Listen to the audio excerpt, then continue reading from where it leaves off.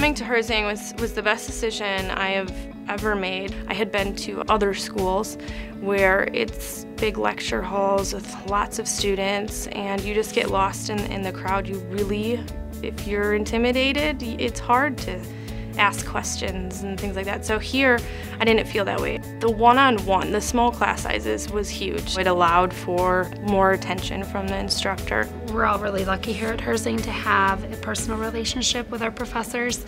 They take the time to get to know you and also with that, where you've come from. So what brought you to the place. So I think they understand what your personal goals are and how to help you reach them.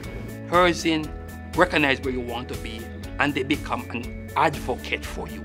They're there to help you gain there and they try to do everything they can to help you achieve that goal, not just achieve but quickly. My first school was three, 400 kids to the class and so you didn't meet the professor ever. And so being here and having that change and being able to work one-on-one -on -one with, with teachers really helps uh, you get a lot more out of your education.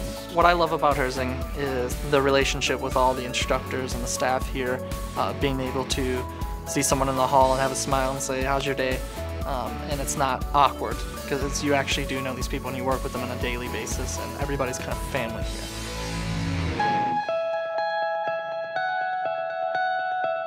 I think Madison campus offers a lot of different variety. I look at my colleagues, we all bring different talents. So when we uh, collaborate and when we talk about different ways to look at things, think you're bringing the best of those experiences. The Madison campus has its own feel and personality. All our professors are pretty active with what they teach outside of the school.